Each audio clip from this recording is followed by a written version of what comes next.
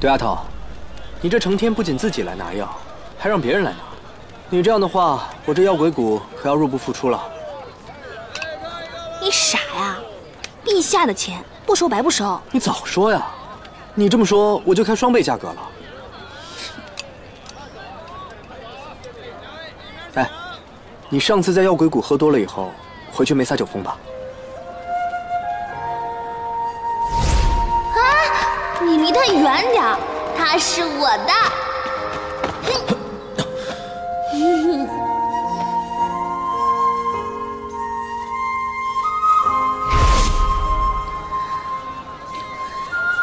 还真撒酒疯了？没有没有，我回去倒头就睡了。我还以为你会对着秦王撒酒疯呢。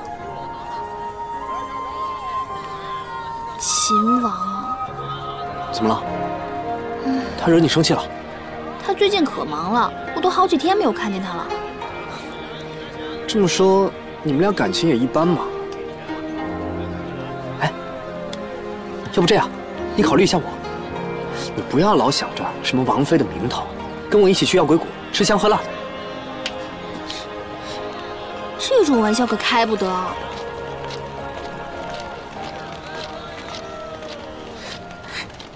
殿下，你忙完了？原来是秦王殿下驾到，这面摊儿可真是蓬荜生辉啊！这是我的朋友顾七少。你不必介绍了，我跟殿下可是老相识了。你们俩认识？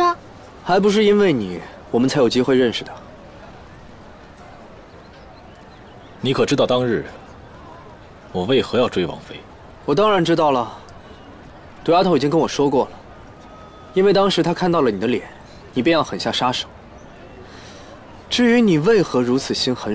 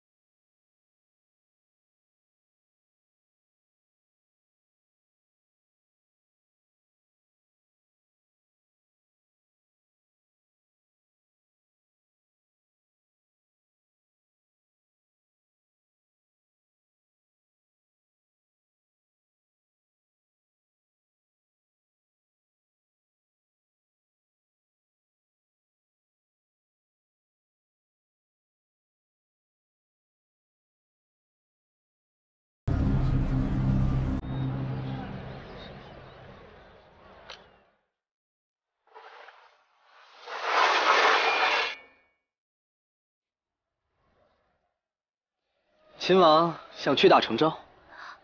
殿下，顾七少是我的救命恩人。你当初派人追杀我的时候，要不是顾七少救我，我早就死了。你不能这么没有理由的抓人。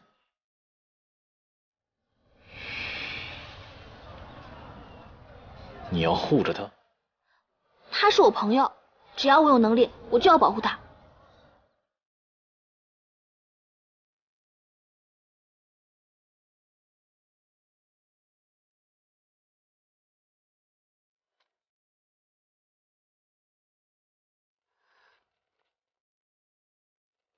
我先走了。